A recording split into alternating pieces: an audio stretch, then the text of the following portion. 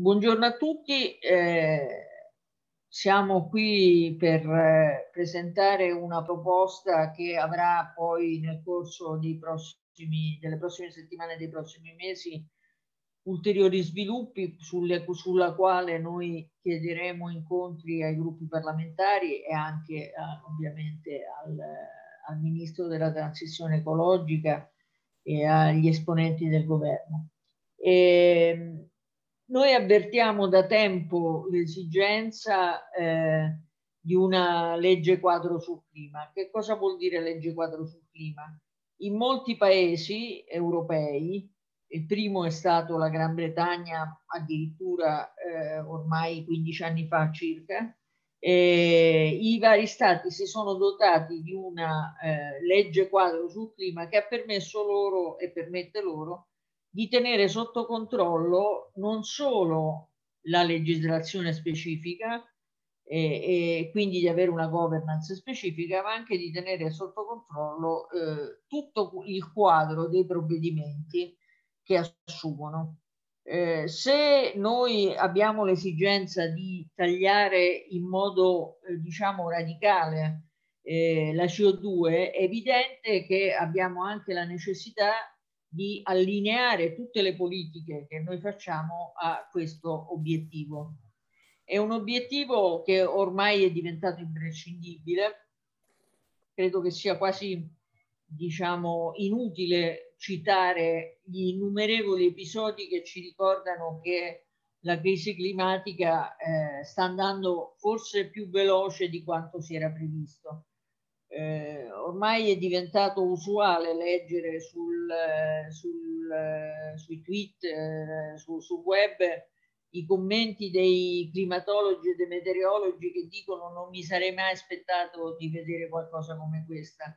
I 50 gradi in Canada, nella British Columbia, chi c'è stato sa che è una regione dove il clima è relativamente mild, ma nello stesso tempo dove le temperature sono veramente eh, non, eh, non, non, non eh, alti, alte, ma molto molto più basse del, di 50 gradi. I 50 gradi raggiunti in Canada sono un campanello d'allarme fortissimo, ma in realtà io credo che quello che vediamo di meno, percepiamo di meno, per esempio la drammatica siccità che ormai da anni sta attanagliando la California, ma anche altri, altre parti del mondo, eh, che quest'anno sta raggiungendo dei livelli fortissimi, sta veramente incidendo, incidendo sulla vita delle persone. Quindi il cambiamento climatico non è un di più, non è qualcosa di cui ci si occupa eh, con tutto il tempo possibile. Abbiamo perso molto tempo e dobbiamo eh, andare più veloci. Per fare questo eh, bisogna dotarsi degli strumenti che lo consentano, che consentano quindi al, al governo e, e, ai cittadini eh, di eh, raggiungere gli obiettivi climatici, ma consentano anche alle aziende eh, di adeguarsi e di avere una, una, una timeline chiara.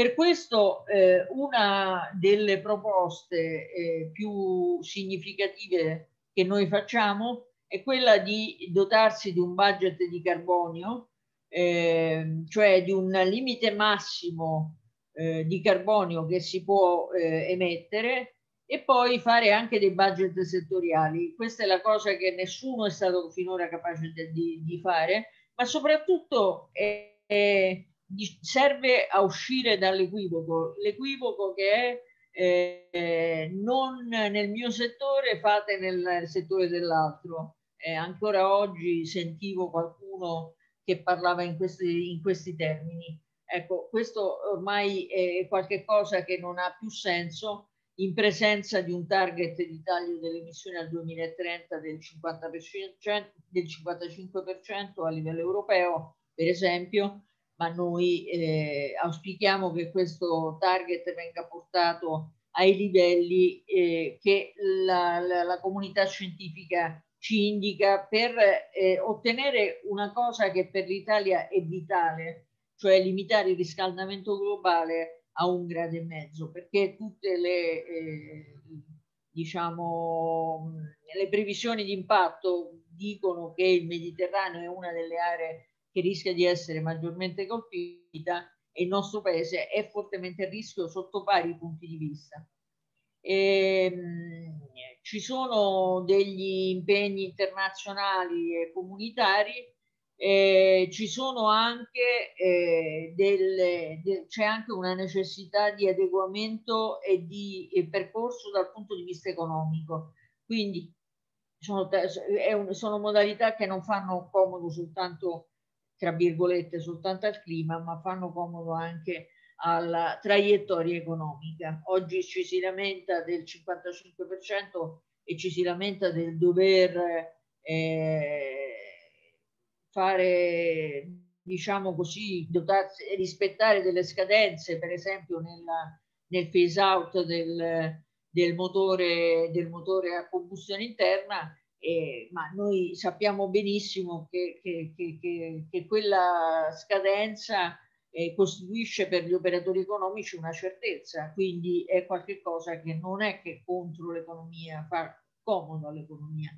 La, mh, il budget di carbonio come viene eh, costituito secondo noi? Viene eh, proposto da un comitato tecnico scientifico che però naturalmente poi eh, si rivolge al governo il quale può eh, e deve tener conto di questa proposta perché ovviamente se il governo decidesse un budget diverso dovrebbe, dovrebbe motivarlo. E, ehm, questo comitato tecnico scientifico, lo vedremo dopo, dovrebbe essere formato da eh, persone effettivamente competenti di varie discipline scientifiche, ma non, senza nessun addentellato con eh, naturalmente le, le, le, gli interessi economici. E questo è uno dei punti eh, più importanti perché è, è ovvio che eh, la governance è anche, vuol dire anche eh, accompagnare la transizione eh, senza essere sospettati di, di, di, di, rallentarla o comunque o di fare gli interessi di un settore piuttosto che dell'altro. Eh, noi proponiamo anche che eh, eh, si, si, faccia una review delle, delle varie, dei vari provvedimenti proprio per cercare di allinearli, che questo comitato possa fare una review dei vari provvedimenti per allinearli alla, eh, a quello che, che, che, serve dal punto di vista del, del taglio delle emissioni. Abbiamo anche inserito una proposta che abbiamo preso dalla legge spagnola, eh, e cioè la, la, la, questione delle assemblee dei cittadini sul clima. È qualcosa che eh, si sta sperimentando. In realtà in Francia l'hanno già fatto e ha portato delle proposte anche molto buone eh, bisogna naturalmente fare in modo che i governi li ascoltino, perché un po' come la, per la società civile, eh, noi abbiamo nel, spesso e volentieri tante buone idee, però poi dobbiamo anche essere ascoltati, perché altrimenti rimangono lì le, le buone idee. Eh, il, il, la legge sul clima deve affrontare anche tutta la questione della riforma fiscale.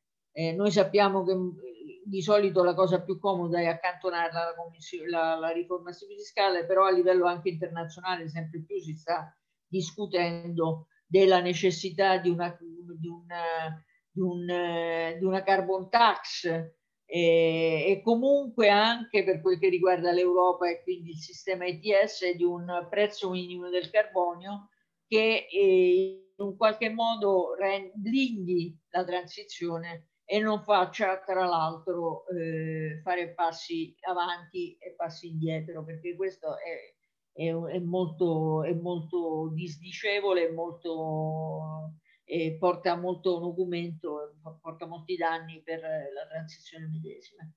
Ehm, è molto importante quello che noi eh, chiamiamo il piano di azione per la crisi climatica, bisogna che in un qualche modo si metta tutto insieme perché attualmente ci sono diversi strumenti, ma noi dobbiamo avere chiaro dove vogliamo andare sulla mitigazione e dove vogliamo andare sull'adattamento.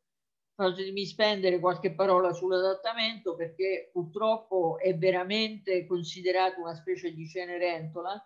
Noi eh, a livello internazionale come ambientalisti lo mettiamo alla stessa stregua della mitigazione, nel senso che è ovvio che se non tagliamo, azzeriamo direi, le emissioni eh, non andiamo da nessuna parte e la, i, i, fatti recenti hanno dimostrato che eh, di fronte alla, alla, potenza e alla distruttività di alcuni fenomeni c'è poco, poco adattamento da fare. Eh, si possono minimizzare i danni, ma le vittime e le distruzioni eh, avvengono, quindi dobbiamo cercare di evitare i cambiamenti, il cambiamento climatico più catastrofico ma nello stesso tempo eh, noi abbiamo necessità di misure forti di adattamento e anche di ripensarlo in modo innovativo. Eh, da questo punto di vista giace nei nostri cassetti da tempo immemorabile un piano eh, che non ha completato tutto l'iter e che doveva essere rivisto ma sta ancora lì e questo è, è francamente una cosa che non, non va bene. Eh, tra l'altro, chi se a livello locale ci si lamenta, eh, si ricordi che anche a livello locale, a livello regionale si possono fare efficaci politiche di adattamento e quindi si può anche cominciare a, a lavorare. E ultima cosa, ma non ultima per importanza, la giusta transizione. Questo da qualcuno viene indicato, eh, ovviamente qua compensazione non si intende compensazione alle aziende, eh, questo da qualcuno viene indicato come eh, un modo per rallentare la transizione, ma in realtà è il contrario, perché abbiamo visto che quando la transizione non va abbastanza veloce rischia di far crollare interi settori e quindi di, di, di mettere maggiormente a rischio la, la, i posti di lavoro. Quindi bisogna prepararsi e anticipare la transizione per es- perché essa sia giusta. E non, non solo questo, naturalmente la giusta transizione vuol dire usare i soldi eh, diciamo del, del, del, del, gettito fiscale e soprattutto in senso ambientale per eh, minimizzare gli effetti sociali del, della transizione e fare in modo che le persone in carne e ossa abbiano eh, un'alternativa eh, sia come lavoro sia come altre misure di, eh, di attenuazione degli effetti. Eh, io mi limiterei a queste, a, queste, a queste parole, ovviamente non si vede l'ultima cosa perché mi dice che la scheda grafica non supporta eh, su Zoom, però mi limiterei al, a, questa, a, questa, eh, a queste parole per illustrare il senso della proposta. Noi, insomma, il centro di tutto, come diceva eh, anche un collega parlando prima del, dell'inizio di questo webinar, è, è la governance del, della transizione. Eh, in questo senso bisogna allineare le politiche, bisogna monitorarle, questo sarà compito del Comitato Tecnico Scientifico, e bisogna soprattutto far trasformare e non aspettare che la trasformazione ci piombi sulle, sulla testa. Questo è quello che volevo dire a inizio del, del webinar. Mi scuso perché eh, Donatella Bianchi, eh, presidente del, del WWF Italia, per questioni di viaggio e di, di di, di, controlli, eccetera, eccetera, non riesce a essere presente perché hanno spostato il volo. E, però eh, darei eh, subito la parola a, ad alcuni eh, degli intervenuti, eh, ringraziando tutte le associazioni che con noi eh, del WWF vogliono supportare questa proposta e che hanno iniziato questo percorso che durerà parecchio tempo fatemi anche ringraziare per il suo appoggio personale Edo Ronchi, eh, già ministro e, presidente della Fondazione per lo Sviluppo Sostenibile, che è qui per dare la sua personale adesione alla proposta. Allora, io inizierei, se voi siete d'accordo, andando con uh, un minimo di ordine alfabetico delle associazioni con Pippo Nufio. Prego. Grazie Maria Grazia, salve a tutti. Credo che questa iniziativa abbia un valore importante perché noi siamo diciamo, eh, all'indomani di un'approvazione di una legge europea sul clima. Questa legge europea sul clima, come sapete, sostanzialmente allineata con gli obiettivi del, del pacchetto uh, del 55%, questa legge era in qualche modo ispirata dalla legge tedesca eh, che aveva gli stessi obiettivi e che è stata impugnata da un gruppo di associazioni, tra cui anche Greenpeace e la Corte Costituzionale tedesca l'ha parzialmente bocciata proprio identificando eh, nella, nella, debolezza degli obiettivi eh, una eh, sorta di incostituzionalità questo è importante perché noi nel nostro dibattito in Italia, invece all'indomani di un pacchetto europeo che noi giudichiamo non sufficiente,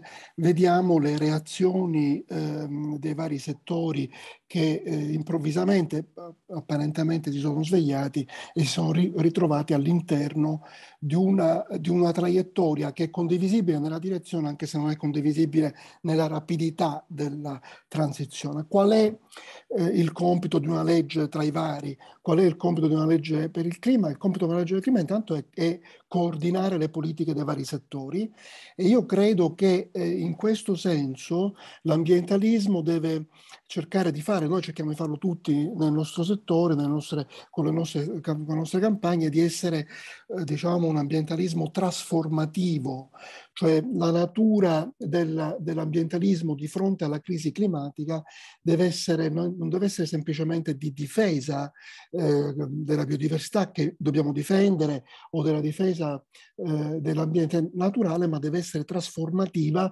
nel senso di indurre, eh, indurre ca- i cambiamenti che ci vogliono perché le nostre città, le nostre società possano vivere all'interno dei limiti eh, definiti eh, dalla crisi climatica. E per far questo, in un certo senso, se volete, ecco, eh, ognuno di noi sua, eh, con, la sua, diciamo, con le sue campagne, con le sue attività, quello che cerchiamo di fare sostanzialmente è quello di eh, esprimere una domanda di innovazione eh, a tutti i livelli, di innovazione tecnologica, di innovazione culturale, ma credo che questa occasione della, legge, della proposta di legge sul clima sia anche quella di un'innovazione, se volete, politico-istituzionale ehm, e, e, e, probabilmente è solo l'inizio di un cammino perché sappiamo come nelle procedure autorizzative eh, le competenze eh, concorrenti di Stato e Regioni spesso eh, pro, creano più problemi di quelli che invece eh, eh, risolvono.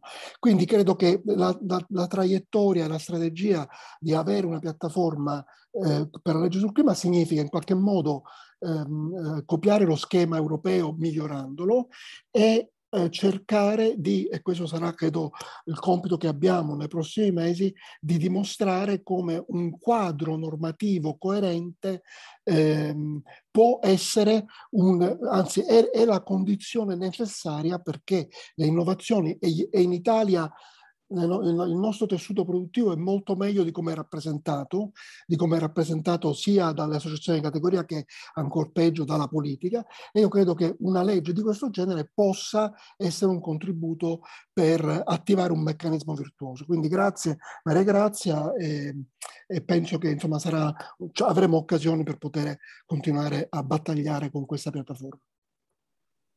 Grazie a te eh, Pippo e adesso vorrei dare la parola a Mauro Albrizio di Lega Ambiente e poi se voi mi consentite chiederei a, a Eno Ronchi di, di, di, di darci la sua, la sua opinione su queste proposte.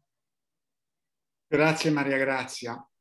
Io mh, innanzitutto ribadisco ancora una volta il pieno sostegno eh, di Lega Ambiente a questa iniziativa che è di grandissima importanza soprattutto nel nostro paese. Il nostro paese manca di una governance climatica in grado di fronteggiare l'emergenza climatica con gli strumenti necessari. Non va dimenticato che attualmente nel nostro paese non esiste una politica climatica organica. Noi siamo l'unico paese dei 27 paesi membri dell'Unione Europea che nel suo piano nazionale clima ed energia non ha fissato un target economy wide, ossia è entrata nella zona grigia della normativa europea per cui nel nostro PNIEC c'è solo un target per i settori non ETS. Da un'analisi del PNIEC e fatto dall'ISPRA emerge chiaramente che il target è di appena il 37% al 2030. Per cui è importante che noi, attraverso una legge quadro sul clima, mettiamo in campo una governance climatica che sia all'altezza e all'avanguardia della sfida climatica. Perché dico questo? Perché, lasciatemelo ribadire ancora una volta, l'attuale target europeo del 55%, apro e chiudo parentesi perché non è questo il momento, non è nemmeno il, da una prima analisi del pacchetto clima-energia, nella migliore delle ipotesi andiamo al 54%. Eh, comunque questa è un'altra, comunque è fortemente inadeguato. L'ultimo Emissions eh, Gap Report delle Nazioni Unite sottolinea chiaramente che con gli ultimi, inclusi gli ultimi impegni, quindi il 55% europeo anche, noi viaggiamo verso una traiettoria di due gradi e mezzo. Da qui al 2030 l'Emissions Gap Report dice che dobbiamo ridurre in media annualmente del 7-6% l'anno per stare nella soglia critica di 1,5. Questo per l'Europa significa il 65%.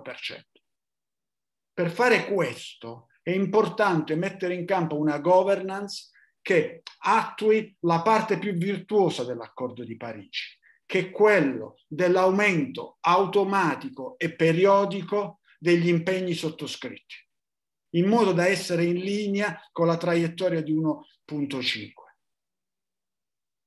E questo sarà uno degli elementi centrali del pacchetto eh, di Glasgow alla prossima conferenza sul clima.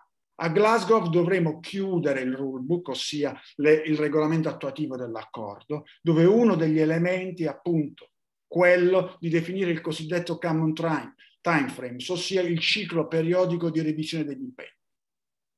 Non a caso la Commissione non ha inserito nel pacchetto clima-energia la revisione del regolamento sulla governance che verrà presentato dopo Glasgow. È importante che venga inserita una revisione periodica di cinque anni in modo da incrementare, quindi di portare al 2030 l'obiettivo europeo al 65%.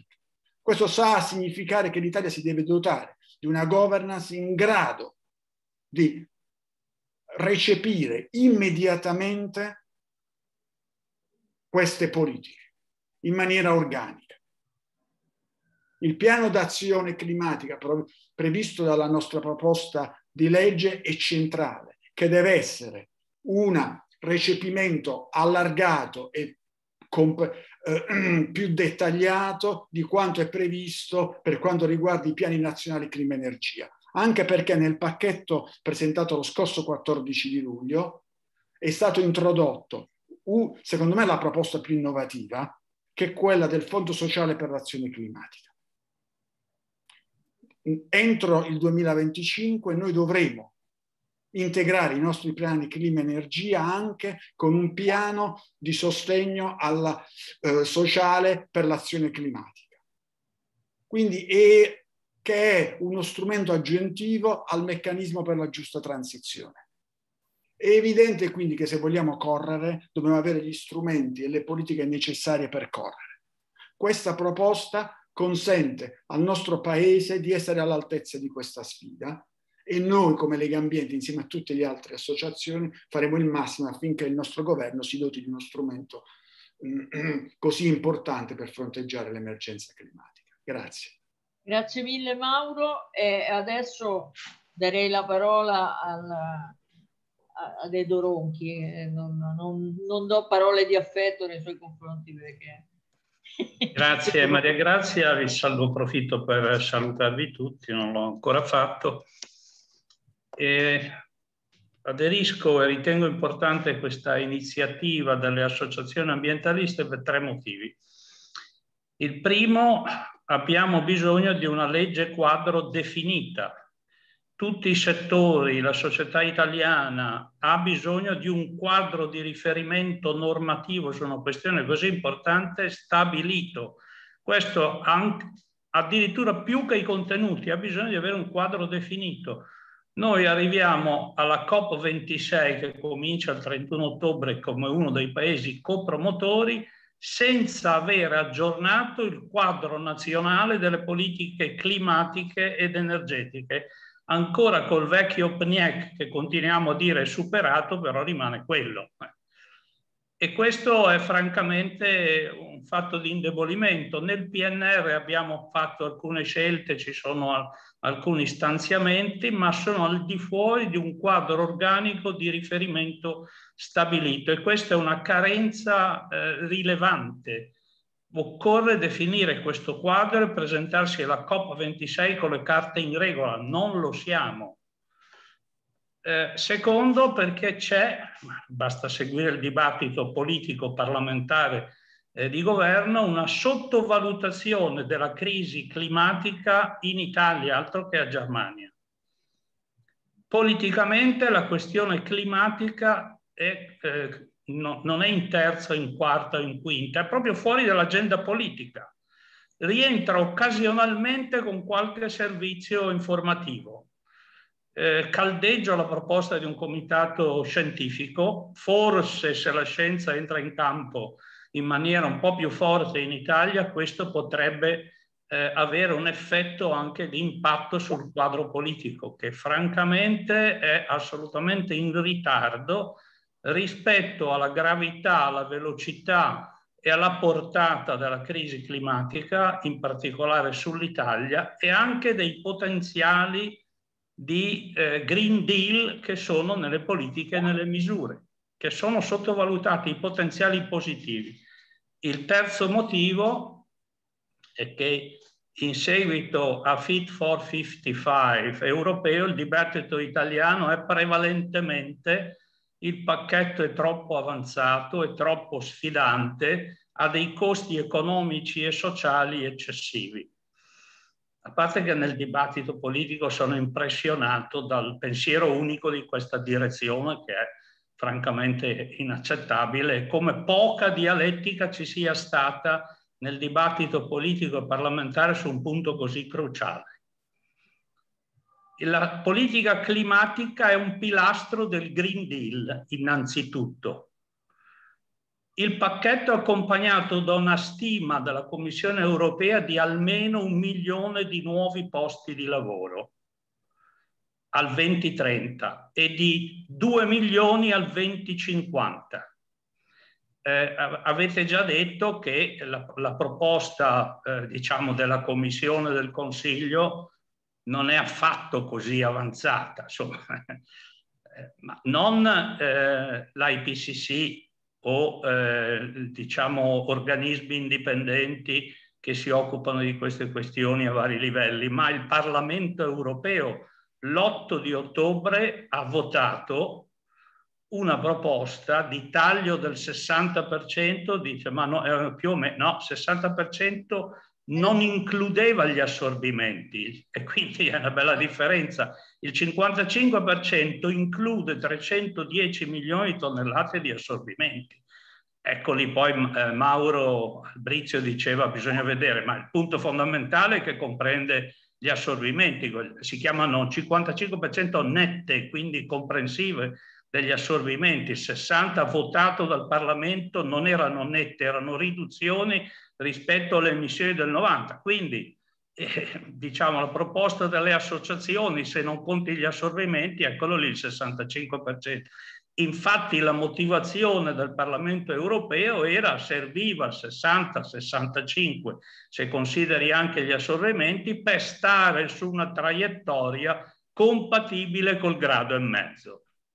non sicura ma con la probabilità di stare verso il grado e mezzo. Quindi non stiamo affatto parlando del, di, una, eh, di, un target particolarmente sfidante, ma già eh, diciamo di un compromesso. Eh, certo ci possono essere anche dei costi sociali, ma i vantaggi della riduzione dei costi ecologici, dei costi climatici, che per l'Italia sono veramente stratosferici. È un paese particolarmente drammaticamente esposto ai costi della crisi climatica. Bisognerebbe mettere questo in primo piano, invece questo non viene neanche citato. Inoltre ci siamo riempiti la bocca del Green Deal del, basato sulle misure climatiche perché queste sono in grado di attivare innovazione tecnologica, nuovi investimenti e nuovi posti di lavoro. Adesso che arriva il pacchetto ci scordiamo di tutto quello che è stato detto fino a ieri e improvvisamente diventa una minaccia per i posti di lavoro e per l'occupazione. Eh, qualcosa non torna nella logica. E ovviamente poi quelli che alzano la bandiera dei costi insostenibili hanno votato in Parlamento mozioni negazioniste fino a due anni fa, adesso ovviamente il negazionismo non è più sostenibile, molto meglio alzare la bandiera del rapporto fra economia e ecologia, ammesso che sappiano cosa significa, e di, dei costi insostenibili di questo pacchetto ultraverde che distruggerebbe l'economia italiana. Pazzie, pazzie. Eh, quindi grazie per la vostra iniziativa, ho solo un rammarico che sia così scarsamente eh, ripresa, ma soprattutto nel dibattito politico e parlamentare. Questa è la mia sottolineatura. Beh, l'abbiamo lanciata oggi e sappiamo che la strada sarà lunga, Edo, per cui penso che in, nel prossimo futuro eh, chiameremo anche chiederemo incontri a tutti i gruppi parlamentari per Penso, eh, raccomanderei in particolare l'attenzione a questo aspetto. Esattamente, sì. Eh, certo, appunto, sappiamo che di, di, di, farlo oggi che siamo in prossimità delle vacanze estive, però è anche vero che siamo in un momento di forte dibattito, appunto, ormai le si fa gara, eh, come dicevi tu, sul pensiero unico e quindi è molto importante invece mantenere la barra dritta, anche perché eh, poi i soldi eh, fanno sempre comodo, ma insomma sono anche legati a degli obiettivi che, e bisogna ricordarselo. Eh, non vorrei rubare la parola, se non mi bacchetta, a Francesco Ferrante di Kyoto Club, che eh, è il prossimo relatore. Eh. No, io intanto eh, ringrazio Temere Grazia e il WWF perché siete stati, diciamo, battistrada in questa operazione che io trovo molto opportuna e la trovo opportuna proprio in questa fase, anche se può sembrare quasi eh, una provocazione in questo momento. Eh, viste le reazioni su cui si è soffermato adesso Edo e su cui io però vorrei aggiungere qualcosa, le reazioni italiane al Fit for 55. Onestamente in questo momento eh, è più rilevante, secondo me e a mio avviso, concentrarsi su questo tipo di reazioni per capire quale montagna dobbiamo scalare nei prossimi mesi, piuttosto che discutere, argomento decisivo, interessante e fondamentale per il futuro del pianeta, eh, cioè se il 55 è più o meno sufficiente, non lo è sufficiente come abbiamo sentito e come sappiamo, ma il punto decisivo è capire il pensiero unico che dobbiamo affrontare, che non è soltanto una questione dei rappresentanti politici istituzionali su cui è evidente che noi dovremo concentrare la nostra attenzione e la nostra pressione di advocacy nelle prossime settimane, mesi, anche scavallando agosto. Ovviamente non è eh, quello il tema, ma è proprio un pensiero unico. Guardate che sulla questione eh, il Green Deal eh, che propone l'Europa, ehm, diciamo, ci porta eh, lacrime e sangue, sono d'accordo il fatto e il foglio, il diavolo e l'acqua santa, tutti d'accordo con Belpietro, c'era un editoriale del Belpietro della Verità che era, diciamo, identico a quello che eh, si è potuto leggere su tanti altri giornali tipo progressista. Sono d'accordo e dicono la stessa cosa e lanciano l'allarme sulla perdita di posti di lavoro, sui danni delle diseguaglianze dei poveri eh, dei più poveri, eh, i liberisti alla matriciana, come li chiamiamo noi, quelli un po', diciamo, liberisti italiani un po' approssimativi, ma che comunque si spacciano tali, e i sindacati, perché i sindacati hanno fatto, i sindacati dell'energia hanno fatto un documento che sostanzialmente dice la stessa cosa, che reagisce all'ipotesi della Sardegna tutta elettrica eh, a difesa ancora una volta degli interessi fossili. C'è un, um, il sole 24 ore è, è, diciamo, è, è oggi ancora un editoriale su un giornale come dire, che si autodefinisce progressista, che dice, sostanzialmente dice attenzione che se la metrica è quella degli ESG, Environmental Social no, Governance, no? state attenti che environmental è più forte però, la social è meno forte. E quindi, le, quindi abbiamo il problema delle diseguaglianze, come se il problema delle diseguaglianze nascesse a causa del Green Deal, non che in realtà in questi anni le diseguaglianze sono state base fondante del tipo di sviluppo a cui abbiamo assistito. Non, non, non sto qui ad annoiarvi con l'aumento delle diseguaglianze e lo scarto che c'è stato negli ultimi dieci anni che è aumentato in tutte le società occidentali, in tutte le società occidentali. Quindi il tema è questo ed è impressionante e su questo diciamo la, il rapporto eh, con il mondo che anche Edo Ronchi rappresenta in maniera eh,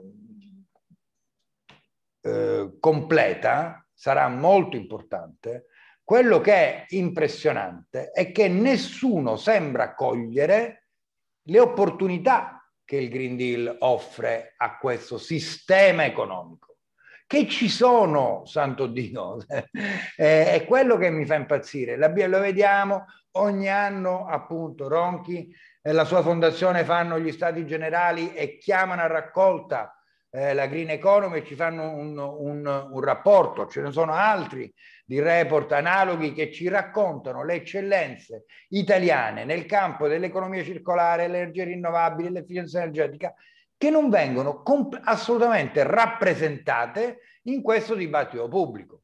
Allora lasciatemi dire, fatemi fare una, una battuta provocatoria, non è colpa dei politici. Quelli poracci leggono i giornali e pensano che la realtà sia quella che hanno letto sui giornali.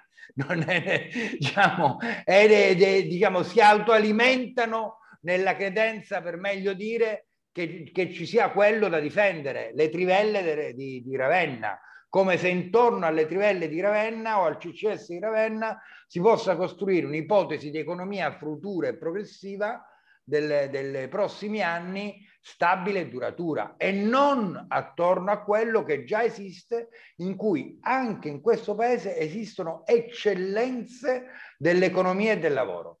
E questo forse il lavoro che dobbiamo fare con più attenzione insieme a quella di advocacy, e quindi la legge sul clima aiuta per questo, perché dà obiettivi chiari, in linea con quelli che ci dicono il mondo scientifico, ci dice devono essere rispettati, ci dice anche delinea un certo tipo di governance e consente a questo mondo, anche dell'economia, di trovare una qualche rappresentanza. Io Scusate, il Kyoto Club è, diciamo, da questo punto di vista è peculiare perché i soci del Kyoto Club sono imprese, quindi diciamo eh, che hanno scommesso eh, sul fatto fin dai tempi del protocollo di Kyoto che quello non fosse solo un vincolo ma anche un'opportunità.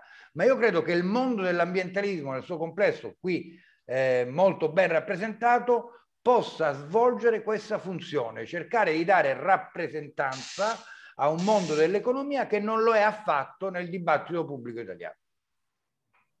Grazie mille Francesco, ovviamente grazie a Edo Ronchi, grazie a Mauro, Albrizio e, Pippo l'ho ringraziato. E vorrei dare la parola al, a quello che rappresenta un po' le giovani generazioni che sono sempre piuttosto coinvolte eh, anche se poi rappresenta una, un'associazione che c'è da parecchio tempo a Bruxelles che si chiama Transport and Environment. Carlo Tritto. Buongiorno a tutti. Io intanto volevo cominciare ringraziando per l'opportunità di partecipare a diciamo, un webinar con uh, speaker della vostra importanza e poter rappresentare Tieni. E, diciamo perché una legge sul clima? Ovviamente Transport Environment uh, ha come focus principali i trasporti. I trasporti rappresentano ad oggi il 26% delle, delle emissioni uh, nazionali, questo vuol dire circa 108 milioni di tonnellate di, di CO2.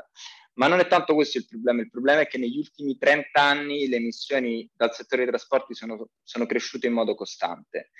E questo è successo anche eh, perché il settore dei trasporti ha fatto affidamento sul trend decrescente degli altri settori, quindi il settore residenziale, dei rifiuti e via dicendo. Quindi bisogna, eh, nell'ottica del 2040-2050, quindi di un periodo di medio e lungo termine, portare a zero queste emissioni. E questo vorrà dire andare incontro ad alcuni eh, temi eh, che adesso sono dei problemi per l'Italia, e che andranno modificati e cambiati. Parto dal tasso di motorizzazione eh, tra i più alti d'Europa, abbiamo circa 6 macchine e mezzo per 10 abitanti, le auto che rappresentano il 50% delle emissioni dell'intero trasporto su strada. Bene, bisognerà mettere in campo una serie di misure che possano abbattere eh, queste emissioni, quindi spostare il trasporto sul trasporto pubblico, eh, mobilità dolci, eh, elettrificazione dei trasporti e mettere in campo quelle azioni necessarie per poter portare a zero queste emissioni del, del settore più importante. Questo è fondamentale eh, da un punto di vista anche della qualità dell'aria che in Italia è un tema davvero dolente, eh, per cui ha il triste record di avere tre procedure di infrazione da parte della Commissione che ogni anno causa 80.000 morti premature, che è un problema estremamente, eh, come dire, concreto. Eh, mi permetto appunto di dare anche un po' sfogo e voce alla mia generazione, a quella generazione nuova e alle future, e eh, nel chiedere che effettivamente il nostro eh, futuro è fragile, è, è più fragile che mai e va cambiato, va tutelato e vanno messe in campo delle azioni che, ci, che possono permettere alla mia generazione e alle generazioni future di vivere un futuro vivibile, sostenibile e che sia libero dai combustibili fossili tendenzialmente. La porta, diciamo, la strategia di lungo termine che l'Europa ci sta fornendo eh, è sicuramente eh, importante, un buon diciamo, segnale iniziale e sul lato eh, trasporti sicuramente porta delle, delle interessanti, ambiziose eh, proposte, ma che non bastano, basta, nel contesto nazionale vanno, come abbiamo detto durante tutto questo webinar, accompagnate, vanno immaginate con delle strategie nazionali di lungo termine che possano dettare l'obiettivo, che possano accompagnare un'industria, il sistema nazione verso eh, la transizione ecologica. Permettetemi anche questo piccolo, eh, diciamo, aneddoto, se vogliamo. Mi sembra, la, la, la, la transizione ecologica succederà perché è già in atto e succederà perché la volontà delle, delle nostre generazioni ed è un problema che non si può più eh, evitare. La questione qui, la scelta qui è se essere attori e protagonisti di questa transizione aspettare che questa ci spatta addosso. Bene, sembra un po' la situazione tra Blockbuster e Netflix qualche decennio fa. Eh, Blockbuster, grande diciamo, compagnia di noleggio di, di pellicole che eh, quando aff- approcciata da Netflix che voleva sperimentare un nuovo trend della digitalizzazione e dei, eh, se vogliamo, servizi in streaming è stata tra virgolette snobbata e, e non penso che debba spiegare eh, la fine che ha eh, fatto Netflix che è diventato uno dei più grandi diciamo colossi dei, dello streaming e scusate, eh, Blockbuster è un po' come le cabine telefoniche, è un'immagine un po' del passato. Ecco, questa secondo me è la, è la voce che volevo dare io, cioè la transizione ecologica è una cosa ed è, come ha detto Francesco prima, è una grande opportunità che dobbiamo prendere, dobbiamo prendere per diventare leader in questo. E vorrei chiudere semplicemente con le con le parole del, pre- del, del, del vicepresidente esecutivo della commissione che dice non è facile la transizione ecologica, anzi sarà molto difficile, ma la dobbiamo fare e la dobbiamo fare per le nostre generazioni, perché è, è giusto così e non c'è una modalità alternativa a questa. Grazie. Grazie mille Carlo, grazie mille a tutti quanti. Eh, io posso concludere dicendo eh, sì, la polemica politica è qualcosa che, che molto spesso lascia veramente perplessi. Una trentina d'anni fa lavoravo alla Camera e frequentavo la sala stampa e mi ricordo che c'era la velina la velina bianca e la velina rossa, delle, delle veline che venivano passate ai, ai, giornalisti, non so se Edo se lo ricorda, eh, a quei tempi, eh, ma eh, non ci sono più quei giornalisti, alcuni dei quali erano anche molto di valore, eh, ma in effetti continuano a esserci, diciamo così, dei pensieri che stranamente si ripetono certe volte si ha l'impressione che addirittura chi dovrebbe essere alfiere della transizione ecologica eh, tiri fuori tutti gli argomenti per non farla, eh, cosa abbastanza incredibile. Comunque, in ogni caso, noi invece eh, abbiamo un altro sguardo, non vogliamo farci intrappolare dalle polemiche politiche, vogliamo invece eh, andare avanti e fare proposte con la serietà che ci contraddistingue. Noi vogliamo fare proposte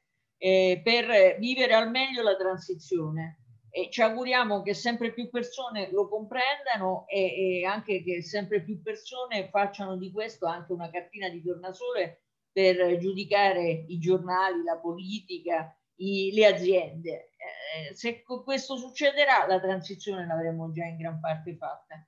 Eh, la legge sul clima è sicuramente un tassello in questo senso, è un tassello però molto importante perché dobbiamo avviare eh, il, il, cambiamento in senso molto più profondo. Non possiamo eh, continuare a ignorare il fatto che molto spesso eh, le, le, le, riforme rimangono sulla, sulla, sulla, carta e perché non è tutto il, il complesso che si muove e soprattutto bisogna dare anche una visione eh, strategica. È quello che nel nostro paese manca, però è quello che eh, rischia, come diceva giustissimamente Carlo nell'ultimo intervento, rischia di penalizzarci tantissimo perché chi non ha la visione strategica subirà la transizione e non sarà sicuramente, non avrà sicuramente proprio una posizione economica forte, ecco, oltre a tutto il resto. Grazie a tutti, eh, spero, anzi sicuramente ci aggiorniamo a settembre. Ciao a tutti. Grazie. Ciao, grazie. Arrivederci, a presto. Ciao a tutti, ciao ciao. Ciao ciao. Ciao, grazie.